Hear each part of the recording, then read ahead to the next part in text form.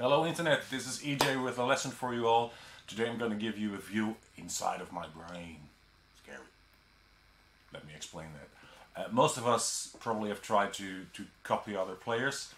Um, and what I do when I find a line that interests me, um, I, I figure out what is happening. So, as an example, uh, tune in G and you, you hear somebody play. Okay, that's 13th or 6th chromatic to 5. And I would take that concept 13 chromatic to 5 to other chords. So on the G, on the C, maybe on the D,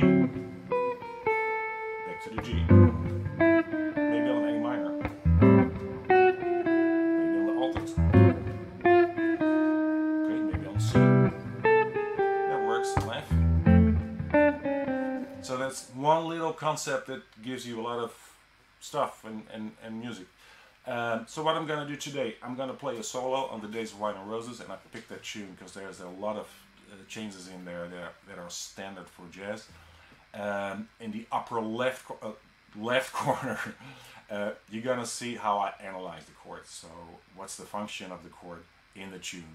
In the right corner for the viewers, um, you're gonna see what I'm thinking uh, so maybe uh, the actual chord is a G, but maybe I'm playing a, a D minor in, in my mind.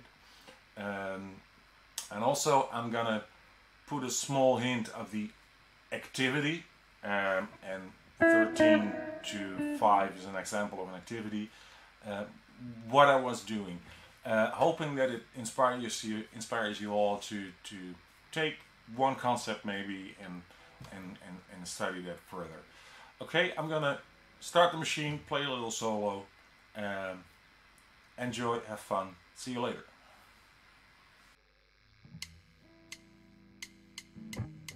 later.